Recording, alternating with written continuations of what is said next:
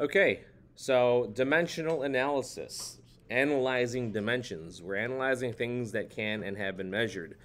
What this really means is we are converting things, right? So if you get good at this, this is something that's going to be useful to you well beyond chemistry. This will be useful to you in every single science class that involves numbers and possibly even lots of your math classes. This will be useful to and if you you know if you're a party planner or an engineer, right? It's very simple and once you learn how to do it, you know, then you're good. It's not hard, but you just have to kind of do some practice first. So the first thing you need to change a unit into something else is you need something that's called uh, conversion factor. Right, a conversion factor. So 100 centimeters equals one meter. When we say the 100 centimeters equals one meter, this can be written two ways. You can write it with the centimeters in the numerator and the meter in the denominator, or vice versa. Right? These, these are both equally accurate, they're both true, and which way you use depends on what you're trying to do. Okay? So, if I have, um, example, let's say I have 3.87 meters. Whatever your measured number is, that's where you should start. Start the problem with the measured number, 3.87 meters. Now, technically, this is 3.87 meters over 1. The over 1 is not necessary here. Like, I know we wrote that here, but you don't need to write that if you don't want to. You can if you want to. I'm going to multiply that by the conversion factor. But I need to make sure, because my goal is to find the measurement in centimeters, in the conversion factor, you put the unit that you're looking for at the top.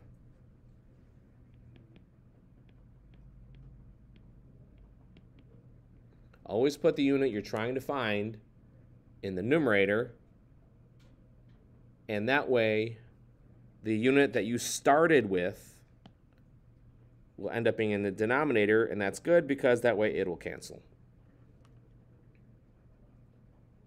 After the meters cancel, we only have one unit left, which is what we wanted, so the answer is 387 centimeters. All right, so that's a simple one-step example. Conversions can take many steps, and just because it takes many steps does not make them necessarily more difficult. It just means you have more things to keep track of. So let's try another example. Micrograms. Micrograms. That funny little character there, right? This this guy here. That's the uh, the symbol for the prefix for micro. So if we have 195 micrograms, and the goal is to convert this into kilograms, so the first step right here, I want to cancel micrograms. So that's what I want to attempt to do in my first conversion. So there are 1,000 micrograms in a milligram. And this first step will allow us to cancel the microgram unit. Now, next, for every one gram, there's a 1,000 micrograms. I'm sorry, milligrams. That's mg is milligrams. Now these two could be combined, right? If you knew that one gram had a million micrograms, this this this conversion and these two are the same. So sometimes you can even use different conversions as long as the end result is the same. The last step, because they they asked us to find kilograms is there's one kilogram for every thousand grams. So when you're carrying out work like this, all of the units must be shown. When you write this out, the mg, the g, the micro, the kg, all of that has to be shown because all of that needs to be shown to be canceled, right, for full credit for the work. If you don't show that, then we can't, we don't have a lot of confidence that you know what you're doing. Okay? Now, after all those cancellations, it, you should see that only KG was left. So now, now that we have set up our work properly and we have verified that our units are canceled correctly, now, Last, you go ahead and calculate. So type this in your calculator to make sure that you are able to arrive at the same result. Everything in the numerators get multiplied and you divide by everything in the denominators.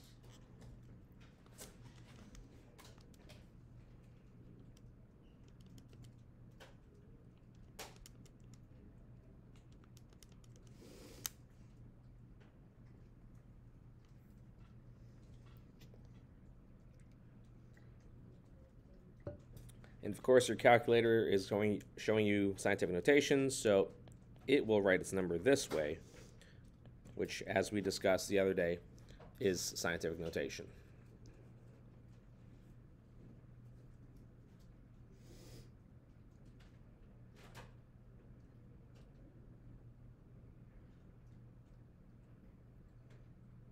We good?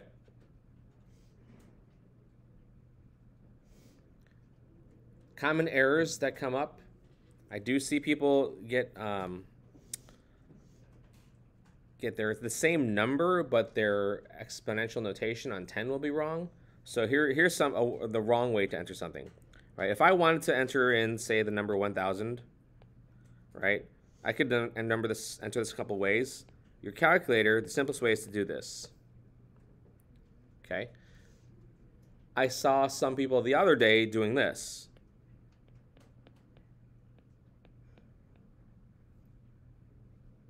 Right? And here the problem is we are adding an extra 10. And that person ended up seeing 10,000. Okay, so when you use the second comma, the, the exponent, exponent key, you do not do times 10 also. That, that second comma is in place of times 10. Okay? All right, let's try some more. Metrics. So there are metric prefixes, and we mentioned them on the first day the main ones you need to know, right? If I'm going to zoom back to where we were, where the metric prefixes are, so we can highlight these.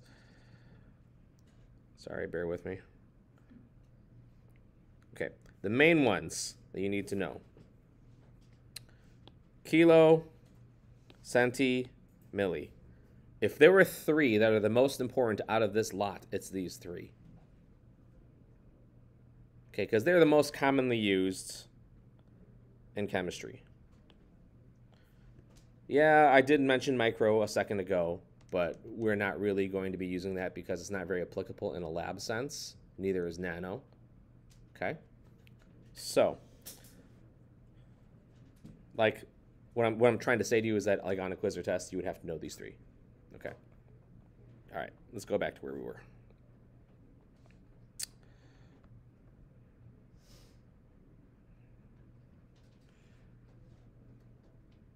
Okay, so using metric prefixes, let's convert the following.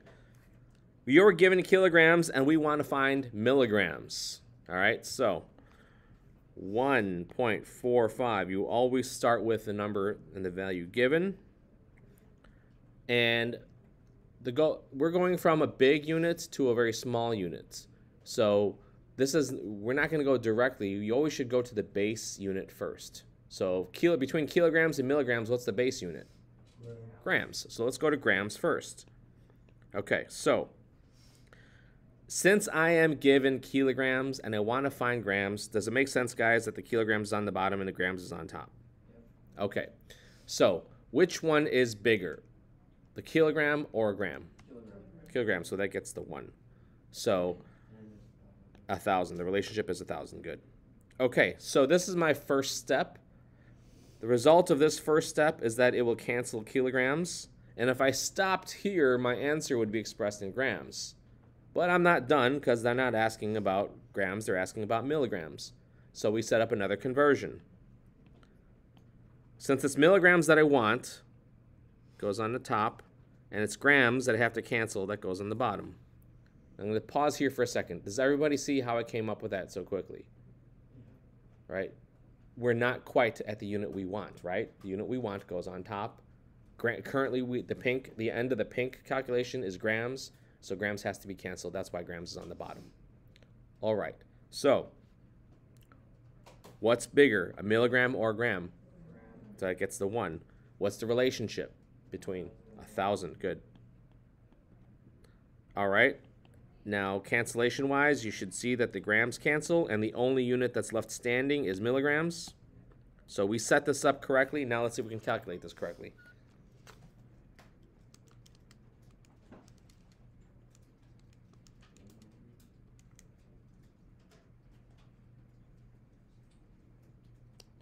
So my calculator gave me standard notation, so I can write it that way, but I think it's more appropriate to write this in scientific notation.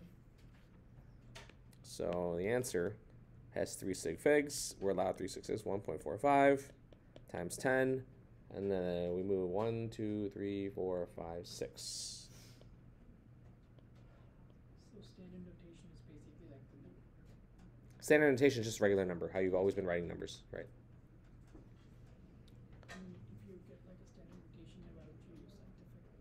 You would use standard scientific notation when the number would be annoying to write over and over again due to the number of zeros. Okay, let's do number part B. Did that work out okay? Part A? Yeah. Everybody get the same? All right. Let's do B.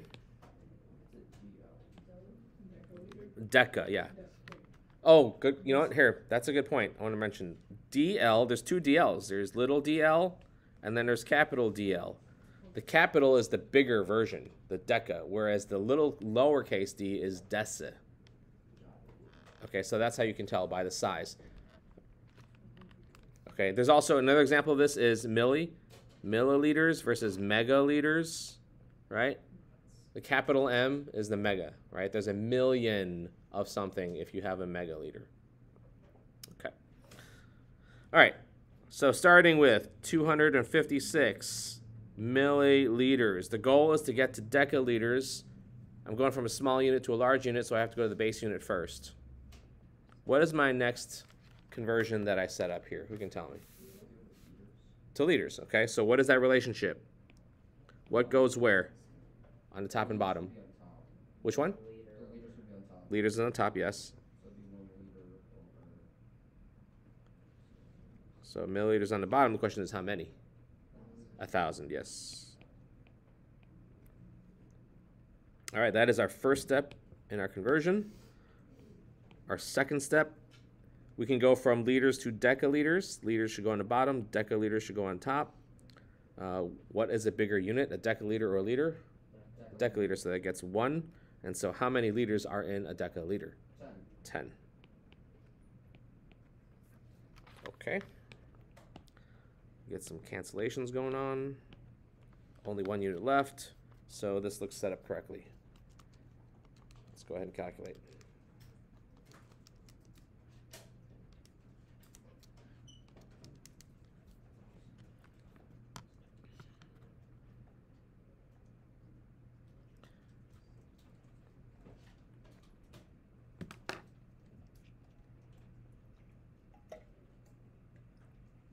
You guys tell me, what did you get?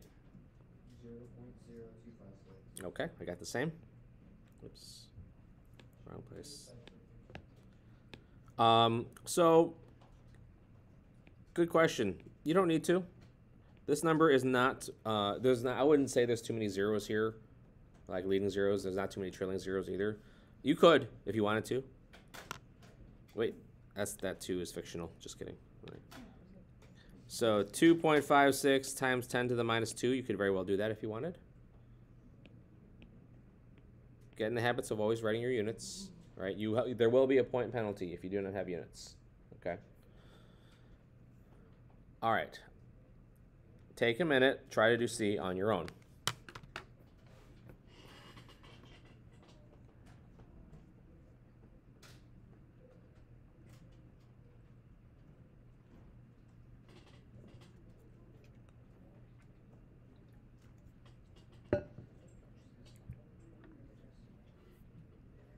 Yes, agree. That's not Dessa, that's Deca.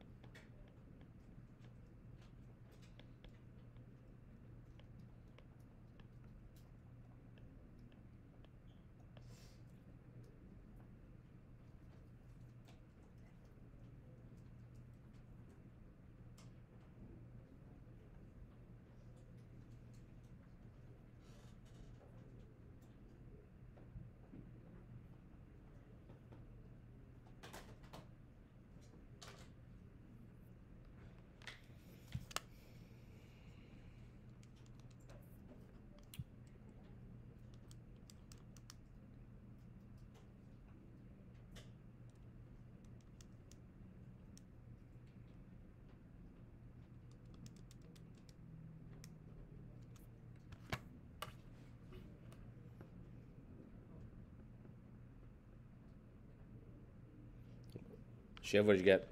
Hundred and forty-five. That's right. Uh, can you tell me how you set this up? Uh, I put zero point zero one four five decigram over one and ten grams. Ten gram is equal to one decigram, so ten gram over one decigram. Uh, decagram, sorry. Okay. That cancels out the dg, and then I put ten q milligrams over one gram because one thousand milligrams over is equal over one gram. You could write 1,000. You don't have to write 10 cubed. That helped me a lot. So I canceled the gram amount. I just put ten one and then ten Q, that made, it to ten four, and then I just moved the decimal places four there, so I got one thirty-five. Did you guys all get that? Yeah. Okay. I just kept the, uh, tens and the two, I just wrote it as is and then That's fine. with the explanations. Yeah, like, like that's totally fine. You just left that as scientific notation. Yeah. Yeah, I just write in the habit of writing. If it, if it's okay, so scientific notation is discretionary. It, it's you're not wrong if you did one way or the other. Okay, it's more so a preference. Okay, yeah. The only time it's not a preference is if I literally tell you write this in scientific notation. Then you got to do it, right? But in any problem, do what's convenient for you. Okay. All right. So here are some non-metric conversions for distances and volumes. You probably know a lot of these, but I bet you don't know some of these, right? So you might have heard, for those of you who run track cross country, that a mile is 1,760 yards. You probably more so know a mile by feet, right, which is 5280. Okay. Uh, you know a yard is three feet. You know an inch is 2.4. But you ever heard of a rod?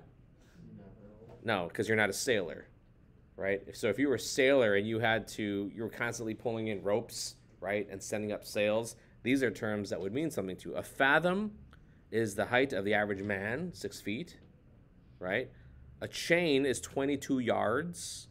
A furlong, Have you ever heard of a furlong? Never. You ever heard of a furry snake? Furlong. Okay. Anyways, just kidding. That's a bad joke. Barley corn is one inch. Okay, so three barley corns. Imagine picking out three corns of barley and line them up and say, "Oh yeah, that's an inch." Right? Those things can vary wildly, right? So it's not a great system.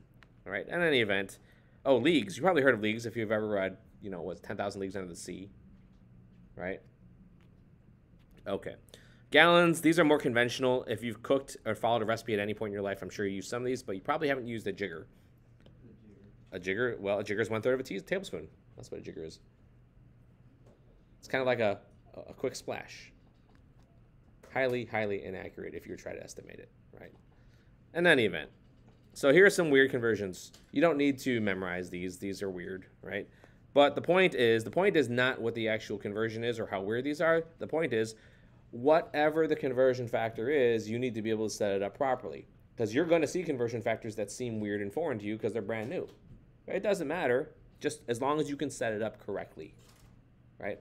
So, let's go ahead and uh, here we'll do eight together.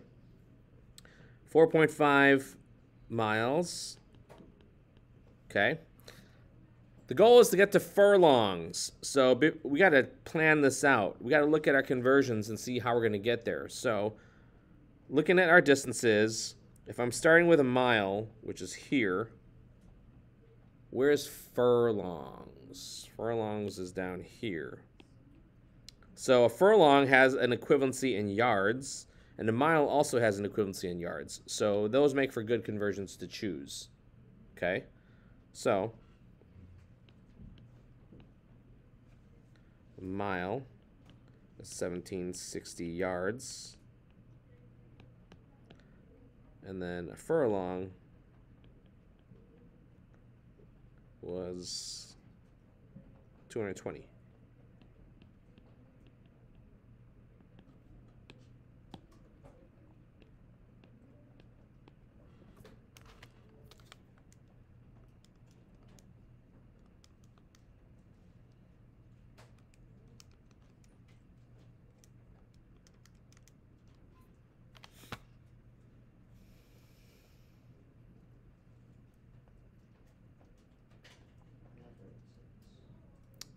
That is right.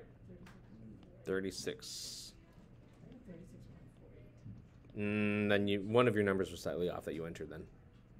Okay. Okay. Are you guys getting the gist of this? Dimensional analysis, all really all it is is unit cancellation. Right? And you can actually use the units to help figure out how to solve the problem if you know if the principle of solving for the top, canceling the bottom. You can string together a bunch of these. Like in B, 12 leagues. So 12 leagues. The goal is to get to fathoms. Okay, so let's look at our conversions. How can we get there? League is here. So league has an equivalency in miles. Miles have equivalency in yards.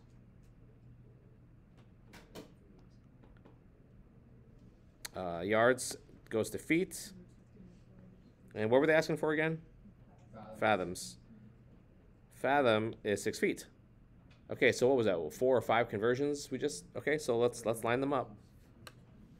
Okay, so league, a league, and I have such a bad short-term memory here. What was league again? League was three miles. League was three miles. Okay, three miles, and then a mile was seventeen sixty yards, and then a yard was three feet, and then there was six feet in a fathom. Let's pause here for a second before you even calculate. How many sig figs does this number represent? Oh, one, yeah. Wait, no, none because it's uh.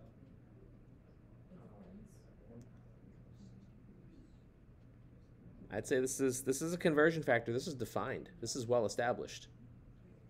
So, does was this a measurement of three of the number three miles with only one sig fig? How many does it have? Infinite. Infinite. How about this number? Infinite. How about this number? And this number? So, how many sig figs is your answer going to have? What is it going to be based on? Uh, it's based on the original measurement. How many, we started with 12, right? So two sig figs. Okay. So.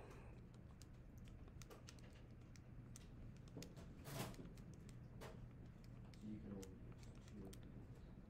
Correct.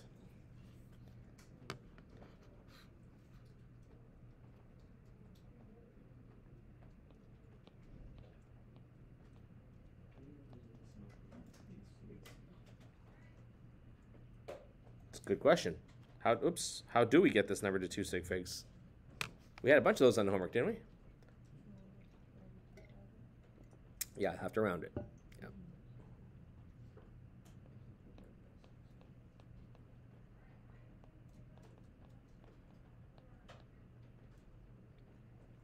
Always after calculations, circle your answer, and make it very clear because some of your guys is, you know, most people work from left to right, but some people don't. So make sure you uh, indicate clearly what your answer is. Okay, and so the last thing we need to talk about is something called a dual unit. Right, a dual unit is a unit that has two units, miles per hour. Okay, you know you are all familiar with miles per hour because you have been in a car and seen a sign on a road somewhere that tells you what the speed limit is. When there are two units, how you go about canceling is no different. You just have to follow the same principles. Right, whatever you're going to be canceling ends up being placed in the bottom. Whatever you want to solve for gets placed in the top. Okay, last year.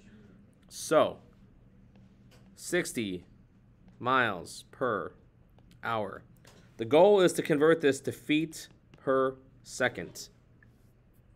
So, I have a time unit and I have a distance unit. We'll do the distance first because that's what we're used to. Okay, so in one mile, which will go on the bottom, there are, and we'll go by the units they gave us. There's 1,760 yards. Okay. And then the next step, the yard goes on the bottom, three feet goes on the top. So that part's fine. Now, the hour part starts in the denominator. Now, if we want to change what the denominator is, you're going to have to multiply. So that means the hour goes in the numerator of this next conversion. And what equivalency do you know about time in hours? One hour is sixty minutes. 60 minutes, right. 60 minutes. So now that step has canceled our hour. And if we stopped right now, if we stopped here, what would our units be? Feet per minute, but that's not what they wanted. So we go one more step. Correct. One minute on the top, 60 seconds on the bottom. The minute will now cancel. And your resulting units are going to be what you did not cancel, which is feet per second.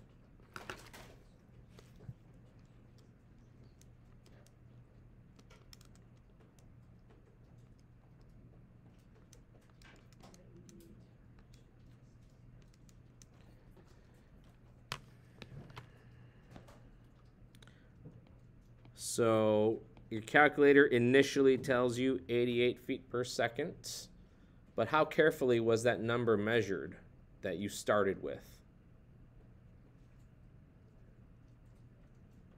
Was it 60.0? Was it 60.00? How many sig figs are in that number? It's only. It's only one. Hmm. So what's my answer? 90.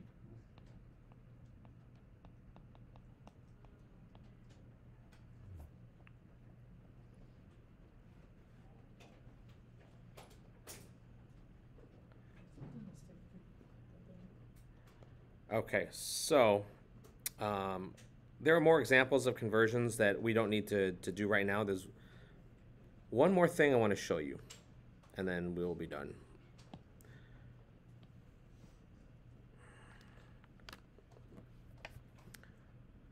If you have a squared unit, like let's say you have the area of something, okay, so let's say you have a unit, something like 50.5 uh, inches squared. When you are converting squared units or cubed units, the conversion factor needs to be done as many times so as to cancel the original unit. So let's say I wanted to convert this into centimeters squared. Right? That's my goal. The conversion between inches and centimeters, well, do you guys remember? Check check the table. How many what's the relationship between centimeters and inches? One inch equals two point five 2.54, four centimeters. that's right. So 2.54 centimeter in the numerator, 1 inch on top. If I carry out this conversion, notice how the inches that I started with, it starts with inches squared, but it only cancels once. So you have to do this conversion twice. Right? So really what you're doing then is you're multiplying 50.5 times 2.54 times 2.54 and then you will the resulting unit would be centimeters squared. So you need to pay attention to if you have squared or cubed units. If you had cubed units, you'd have to do this three times. Okay? So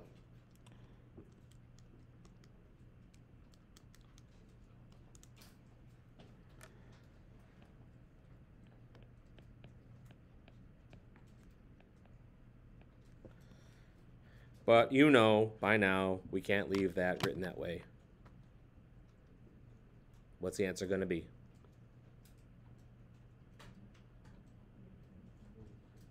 Three hundred twenty-six.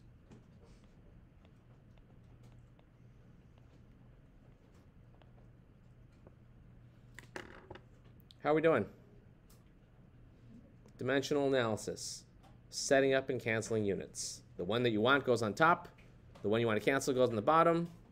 It can be a couple steps, it can be many steps. However many steps doesn't matter as long as you set it up correctly. But you know, again, don't calculate these as you do the problem. Set up all of the workflow first so you don't waste your time, right? Plus it's easier, you're you're less likely to make a mistake if you check that your workflow looks correct. Okay? In your workflow, you have to show your units and you have to show them being canceled. Okay, you can't just like leave that out because that's part of the points. All right. So let's go ahead and stop that.